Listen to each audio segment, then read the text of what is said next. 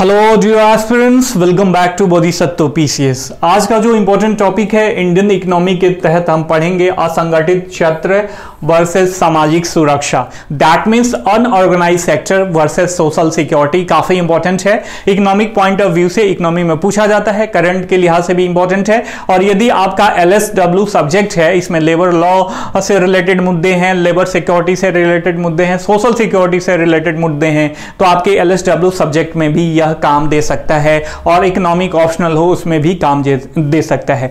तो my dear friend if you are serious about 67 BPSC mains examination then watch this video from beginning to the last देखिए, किसी भी topic को हम तोड़ के पढ़ते हैं ताकि आंसर राइटिंग करने में आसानी हो। तो सबसे पहले इस टॉपिक को पढ़ेंगे, देखेंगे कि इसका इंट्रो करेंगे कि मतलब इस असंगठित क्षेत्र का मतलब होता क्या है। इसके साथ साथ देखेंगे कि भारत में अनऑर्गेनाइज सेक्टर का क्या स्टेटस है, इसके बारे में देखेंगे। इसके साथ साथ इसकी विशेषताएँ देखेंगे अनऑर्गेनाइज सेक्टर के क्या फीचर्स होते हैं। इसके साथ सोशल सिक्योरिटी प्लान्स जो भी गवर्नमेंट के द्वारा बनाए गए हैं इसको मैनेज करने के लिए, उसके बारे में अध्ययन करेंगे, उसका एग्ज़ाम्पल देखेंगे। इसके साथ साथ देखेंगे अनऑर्गेनाइज सेक्टर के अनौपचारिक क्षेत्र में जो है, सरकार को क्यों हस्तक्षेप करना चाहिए? और देखिए, जब कोविड 19 का जो कुप्रभाव पड़ा था ना अर्थव्यवस्था पे तो सबसे ज़्यादा अनऑर्गेनाइज सेक्टर जो है, कुप्रभावित हुआ था इससे। तो इसके स्टडी के लिए, इसके कुप्रभाव को कम करने के लिए मिटिगेट करने के लिए भर्तृहरि मेहताब समिति बनी थी कमिटी बनी थी भर्तृहरि मेहताब के अध्यक्षता में। तो इन्होंने क्या रिकमेंडेशन करा था, उसके बारे में देखेंगे और अंतत्वगत्वा हम निष्कर्ष देखेंगे माय डियर फ्रेंड ठीक है? चलिए शुरू करते हैं। शुरू करने से पहले आपसे रिक्वेस्ट है। If you are new at my channel then subscribe the channel and hit the bell icon for all the notification my dear friend ठीक है, देखिए टॉपिक शुरू करने से पहले थोड़ा सा मैं अपनी मार्केटिंग कर लूँ। देखिए, बहुत लोगों ने जो है, हमारा पहला बैच तो फुल हो चुका है तो बहुत लोगों का एडमिशन मैं उसमें नहीं ले पाया।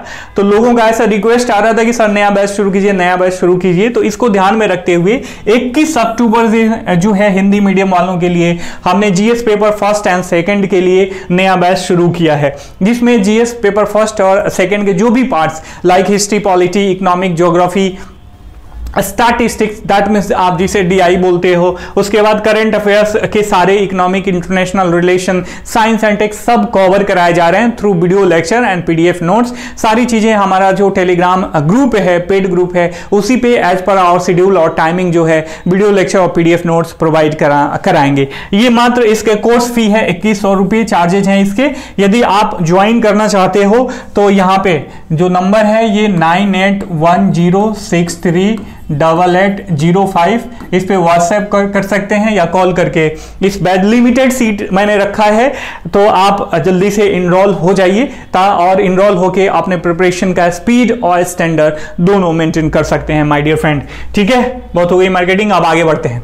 देखिए हम समझते हैं अनऑर्गेनाइज सेक्टर को। इसका कॉन्सेप्ट समझाने के लिए मैं आपको एक कहानी सुनाना चाहूँगा। इसकी पात्र और जो भी घटनाएँ हैं सारे काल्पनिक हैं।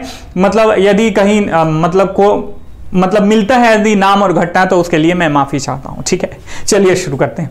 देखिए, गाँव के एक मंगरू चाचा हैं, जिनके फैमिली मेंबर्स हैं पाँच। वो गाँव के ही एक रामाकांत चौधरी के ईंट भट्टे पे कार्य कर रहे होते हैं। अचानक एक रात ईंटों की पकने की स्थिति को जांचने के लिए रामाकांत चौधरी द्वारा आदेश दिया जाता है, मंगरू चाचा भट्टे के ऊपर चढ़ते हैं और जो होल बना होता है, ईंटों के पकने की जांचने ईंटों के पकने की अवस्था जांचने के लिए, उसके ऊपर का कैप हटाते हैं, उनका पैर फिसलता है और उसमें गिर के उनके जीवन का दुखद अंत हो जाता है।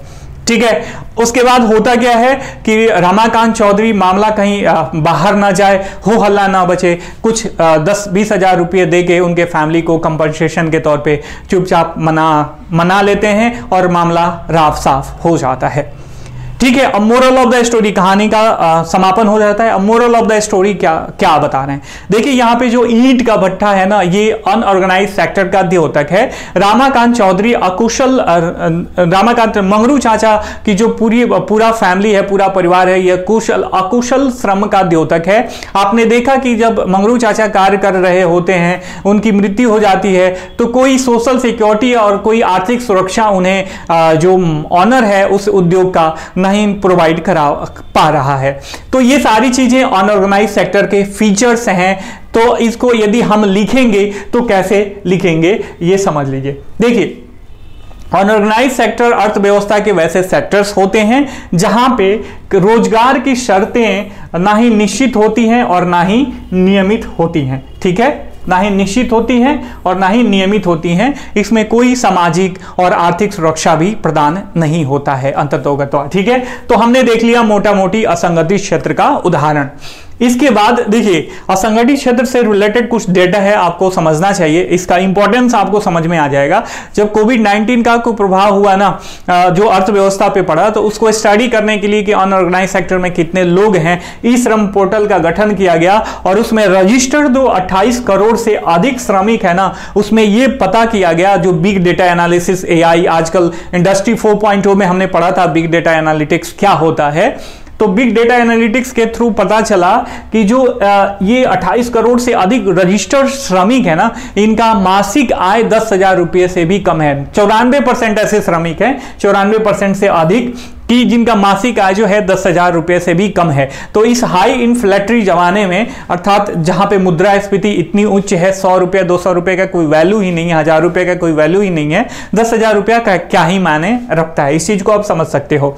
आईएलओ के अनुसार ये बताया गया है कि जो वर्ल्ड की नियोजित आबादी है ना, उसमें से 60 परसेंट से अधिक आबादी जो है अनऑर्गेनाइज सेक्टर में कार्य कर रही है। तो हमने इंट्रो में ये सारी चीज़ें जान लिया।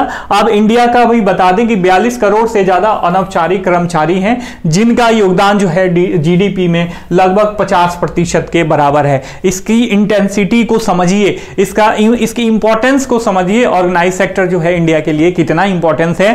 और इसको रूल्स एंड रेगुलेशन के तहत लाना, बढ़िया से रेगुलेट करना और जो भी कर्मचारी हैं इसमें वर्कर्स हैं, उनको सोशल सिक्योरिटी और इकोनॉमिक सिक्योरिटी इकोनॉमिक सिक्योरिटी और सोशल सिक्योरिटी प्रोवाइड कराना जो है कितना महत्वपूर्ण है, ठीक है? तो हमने ये इंट्रो में जान लिया ये ये चीज़ें और असंगठित क्षेत्र का हमने वो देखा, परिभाषा देखा और एक कहानी के थ्रू मैंने उसका फीचर्स वगैरह बता दिया ताकि आप ज़्यादा से अच्छे तरीके से समझ लो और कुछ डेटा एनालिसिस किया हमने, ठीक है?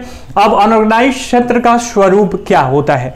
जैसे देखिए जो मंगरू चाचा थे, वो क्या किस लिए थे वहाँ पे? क्योंकि वो बहुत ज़्यादा परिश्रमी हैं। तो मैं आपको बताऊँगा अनऑर्गेनाइज सेक्टर वो तो एक मात्र द्योतक था, एक एग्ज़ाम्पल था, ईंट का भट्टा, बहुत सारी बीड़ी मेकिंग कंपनी हो गई, या चटाई वगैरह मेकिंग कंपनी हो गई, दर्री बनाने वाली कंपनी हो गई, कुछ भी जो घरेलू उद्योग, एक दो फैमिली मिलकर कार्य कर रहे होते हैं, सब अनऑर्गेनाइज सेक्टर में आते हैं, ठीक है? तो ये मुख्यतः श्रम प्रधान होता है, और यहाँ पे जो कर्मचारी काम करते हैं ना, उनको काम करने के लिए कोई ज़्यादा स्किल्ड होने की आवश्यकता नहीं है तो कह सकते हैं लगभग अकुशल श्रमिक होते हैं इसमें।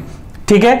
और जो कॉरपोरेट रूल होता है रूल्स एंड रेगुलेशन होता है इंडस्ट्री का, उससे बाहर होते हैं। तभी तो रामाकांत चाचा रामाकांत चौधरी के ऊपर कोई दबाव नहीं पड़ा इकोनॉमिक और सोशल सिक्योरिटी को लेके और मात्र दस बीस हज़ार रुपए में ही मामला को सल्टा दिया। तो ये क्या है? ये ये शो ऑफ़ करता है, ये बताता है कि यदि वो रूल्स एंड रेगुलेशन के अंतर्गत बंदे होते तो जहाँ दस बीस हज़ार रुपए में काम चल गया, वहाँ पे उनको चार पाँच लाख रुपए फैमिली को कम से कम कंपनसेशन देना पड़ता। ठीक है? और परमानेंट रोज़गार जब तक उनका उद्योग चलता फैमिली मेंबर्स को भी देना पड़ता, ठीक है? तो कहीं ना कहीं ये दो तक है कि जो भी अनऑर्गेनाइज सेक्टर है, ये इंडस्ट्री या कॉरपोरेट रूल जो भी कहिए, उससे बाहर है ये, ठीक है? और कर्मचारियों को कोई कानूनी सुरक्षा प्राप्त नहीं है। ऑब्वियस रामाकांत रामाकांत चौधरी के ऊपर कोई कैसे केस कर सकता था? कोई मतलब क्योंकि मान लीजिए जो मंगरू चाचा थे उनको कोई कानूनी सुरक्षा ही नहीं प्रदान है कुछ भी प्रदान है ये नहीं है बस वो गए काम मांगे होंगे कि मालिक हमें काम दे दो हम गरीब हैं और हमारी पूरी फैमिली जो है वो, वो भूख की शिकार है यदि काम नहीं दोगे तो हमारा कैसे लालन पालन होगा? तो उसने काम दे दिया उसके ऊपर कोई ऑब्लिगेशन नहीं है कोई रूल्स एंड रेगुलेशन नहीं है रामाकांत चौधरी के ऊपर किस लिए नहीं है? क्योंकि जो श्रमिक होते हैं, जो मंगरू चाचा हैं, उनको कोई कानूनी सुरक्षा ही प्रदान नहीं है। ठीक है? तो होलिस्टिक पैन लेवल पे देखा जाए इकोनॉमिक जो भी अनऑर्गेनाइज सेक्टर का इकोनॉमी है तो हम कह सकते हैं कि जो भी कर्मचारी होते हैं, अकुशल होते हैं, श्रम प्रधान होते हैं, श्रम प्रधान कार्य होता है और इनको कोई कानूनी सुरक्षा भी प्रदान नहीं होती है माय डियर फ्रेंड ठीक है? उसके बाद सामाजिक सुरक्षा योजनाएँ चलाई जा रही हैं अनऑर्गेनाइज सेक्टर्स के लिए तो कौन कौन सी हैं? देखिए, सामाजिक sorry unorganise workers and social security act 2008 आया था। इसी के अंतर्गत केंद्र सरकार, चाहे वह विकलांगता हो, मातृत्व लाभ हो या अन्य लाभ हो, उसको लेके या राज्य सरकार जो है, कर्मचारियों के लिए और उनके वेलफेयर के लिए रूल्स एंड रेगुलेशन बनाती है। ठीक है? इसके साथ साथ सरकार के द्वारा ई श्रम पोर्टल का गठन किया गया है। ठीक है? पीएम श्रम योगी मानधन योजना, आपको पता है कि जो भी अनऑर्गेनाइज सेक्टर्स के श्रमिक हैं, उन्हीं के लिए ये योजना लाई गई थी। पीएम रोज़गार प्रोत्साहन योजना अनऑर्गेनाइज सेक्टर्स के लिए लाया गया था। ऐसे बहुत सारे एग्जाम्पल्स आप लिख सकते हो, ठीक है? जो भी अनऑर्गेनाइज सेक्टर के लिए सोशल सिक्योरिटी के लिए लाया गया है माई डियर फ्रेंड ठीक है? अब आप कहोगे कि चलिए, आपको लगभग ये समझ में आ गया ना आ गया होगा ना कि सरकार को हस्तक्षेप क्यों करना चाहिए? तो आप यदि मैं आपसे पूछूँ तो आपके मन मन में ये प्रश्न उठ सकता है कि चलिए ठीक है, उनको रोज़गार मिल रहा है और सारी चीज़ें मिल रही हैं तो सरकार को हस्तक्षेप करना ही क्यों चाहिए? मान लीजिए कि वो अकुशल हैं, उनके पास कुशलता तो है नहीं तो अनऑर्गेनाइज सेक्टर की बड़ी बड़ी कंपनियाँ कंप्यूटर इंडस्ट्री या ऐसे सॉफ्टवेयर इंडस्ट्री में वो काम तो करेंगे नहीं। तो ऐसी जगहों पे ही तो उनको उनको काम करने को मिलेगा तो सरकार को क्यों चाहिए कि ये लोग इंटरवेंशन करें गवर्नमेंट वगैरह क्यों इंटरवेंशन करेगी इस अनऑर्गेनाइज सेक्टर में? आपका दिमाग ज़िंदा है तो ऐसा प्रश्न उठना लाजमी है और उठना भी चाहिए। अगर नहीं उठ रहा है तो सोचो, किसी भी टॉपिक को आप पढ़ते वक्त ना सोचो। देखिए, आज कल यूट्यूब के मैं, उसमें देखता हूँ चैनल्स बहुत सारे ऐसे चैनल मिसगाइड करते हैं बच्चों को बहुत ज़्यादा। कि फलाना रट जाओ। भैया, रटने से कुछ नहीं होता। इस ओवरऑल मेंस एग्ज़ाम आपका जो है मेंस एग्ज़ाम में पर्सनालिटी चेक करी जाती है आंसर राइटिंग के थ्रू कि आपका थॉट प्रोसेस क्या है, आप क्या कहना चाहते हैं किसी टॉपिक से रिलेटेड और यही जब वो आप मेंस प्रिपरेशन के दौरान सीखते हो ना, वो जाके आपके इंटरव्यू में परिलक्षित होता है और इंटरव्यू में भी ज़्यादा नंबर मिलता है। जहाँ पे एक एक नंबर का लड़ाई होता है ना, वहाँ पे इंटरव्यू में दो चार नंबर ज़्यादा पाना भी एक बड़ी उपलब्धि होती है। तो चीज़ों को अभी से सीखने की और समझने की कोशिश करो। तो इसीलिए हर एक चैप्टर में मैं कोशिश करता हूँ कि एग्जाम्पल्स के द्वारा जो है मैं आपको चीज़ें समझाऊं, ताकि जो है आप आराम से समझ सको और आपका जो सेंस ऑफ़ वंडर है ना, वो एक्टिवेट रहे। ठीक है? अब हस्तक्षेप क्यों है? सबसे पहले, देखिए, आप जो भी पब्लिक एडमिनिस्ट्रेशन के स्टूडेंट्स होंगे, आपने देखा होगा कि जो शुरुआत में इंडस्ट्रियलाइजेशन हुआ अठारहवीं सदी के लास्ट और उन्नीसवीं सदी के पूर्वार्ध में तो वहाँ पे जब इंडस्ट्री विकसित हुई, जब स्टीम इंजन का निर्माण हुआ, शहरीकरण हुआ, बहुत सारी चीज़ें हुई तो कार्य की जो दशाएँ थी, वो मानवीय नहीं थी। बहुत घुटन भरा कम, कमरा होता था उसी में पता चले इंजन चल रहा है उसी में कर्मचारी कार्य कर रहे हैं। तो जो भी थिंकर्स थे इसमें एडमिनिस्ट्रेटिव थिंकर्स आप पढ़ते हो तो उन्होंने क्या करा इसी को डेवलप किया। ह्यूमन प्रोडक्शन बढ़े और जो जो कर्मचारी हैं और मालिक हैं उनके बीच का टसल कम हो और उनका स्वास्थ्य सुरक्षा वगैरह सारी चीज़ें उन्होंने प्रोवाइड करने के लिए सोचा। तो उसी सोच को हम थिंकर्स के रूप में एडमिनिस्ट्रेटिव थिंकर्स के रूप में पढ़ते हैं माय डियर फ्रेंड ठीक है? तो स्वास्थ्य सुरक्षा, आपने देखा कि वहाँ पे क्या है? जो कोल का फ्यूम निकलता हो, जब कोल वगैरह उसी से तो भट्टा या लकड़ी से तो भट्टा चलता है, जब उससे धुआँ निकलता फ्यूम निकलता है तो वो इनहेल करते होंगे, मंगरू चाचा और उनकी फैमिली। तो कहीं ना कहीं वो अस्थमा के भी शिकार हो सकते हैं। कार्य की दशाएँ अत्यंत ही निम्नावस्था में है। तो क्यों? तो सरकार को चाहिए इसीलिए कि कोई रूल्स एंड रेगुलेशन निकाले, बनाए कि भैया जो आप कार्य कर रहे हो, आप इस इंडस्ट्री के ऑनर हो, ये उद्योग के ऑनर हो तो आप जो अपने कर्मचारी हैं, उनको भी सुरक्षा प्रदान करो। इसके साथ साथ अब ये तो कर्मचारी से रिलेटेड हो गया। जो फॉर्म्स होते हैं ना, जो छोटे छोटे उद्योग होते हैं, उनको भी तरलता की आवश्यकता होती है। उनको भी जो है मनी क्रंच का सामना करना पड़ता है। तो सरकार को जो माइक्रो फाइनेंस यूनिट्स होते हैं, उन पर ध्यान देना चाहिए। जो सूक्ष्म वित्त संस्थाएँ होती हैं, उन पर ध्यान देना चाहिए ताकि इनकी तरलता लिक्विडिटी लिक्विडिटी बनाए रखें इन फॉर्मों को। और जब भी आवश्यकता पड़े लोन वगैरह की तो आसानी से दे सकें। साथ साथ सरकार को चाहिए कि targeted social safety nets develop करे। अर्थात जो लोग असंगठित क्षेत्र में कार्य कर रहे हैं, उनको सामाजिक और आर्थिक सुरक्षा नहीं प्रदान करी जा रही है। उनके लिए special targeted security net develop करी जाए। जैसे टारगेटेड पीडीएस था ना, कि जो लोग अत्यंत ही निम्न अवस्था में हैं, उनको टारगेटेड पीडीएस के थ्रू लाभ प्रदान किया गया था। उसी तरह ये कहा जा रहा है कि टारगेटेड सोशल सेफ्टी नेट भी प्रोवाइड कराना चाहिए। उसके बाद अन्य बहुत सारे प्रोत्साहन उपाय करके जो है अनऑर्गेनाइज सेक्टर को और ऑर्गेनाइज सेक्टर में हम कन्वर्ट कर सकते हैं। और किसी भी इकोनॉमी के सस्टेनेबल डेवलपमेंट के लिए जो है ऑर्गेनाइज सेक्टर का आकार अनऑर्गेनाइज सेक्टर का आकार जितना छोटा हो, उतना ही अच्छा होता है माय डियर फ्रेंड ठीक है?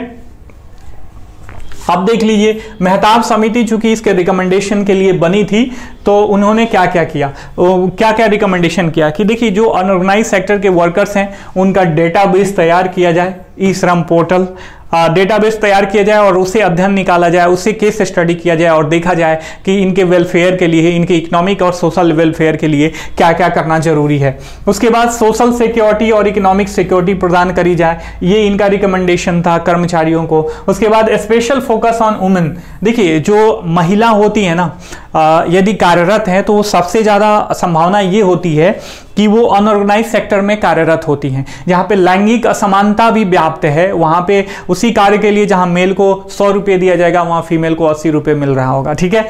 तो इन सारी चीज़ों पर भी ध्यान देना चाहिए। उसके बाद शहरी गरीबों पे ध्यान देखिए कभी कभी हम बात करते हैं तो केवल रूरल एरिया पर डिपेंडेंट हो जाते हैं टोटली फोकस होता है। लेकिन शहरी गरीबों पर हम ध्यान ही नहीं दे पाते हैं। हालाँकि वो ज़्यादा ही सेंसिटिव मामला है, क्योंकि शहरों में यदि मान लीजिए आप गाँव में रहे ना तो आप डब्बा लेके चले जाओ कि फलाना चाची थोड़ा सा मेरा, मेरे को दाल दे दो या चीनी दे दो तो ऐसा मिल सकता है। लेकिन शहरों में जो ह्यूमन रिलेशन का जो तार है, तारतम्यता है, वो कहीं ना कहीं ब्रेक होती है।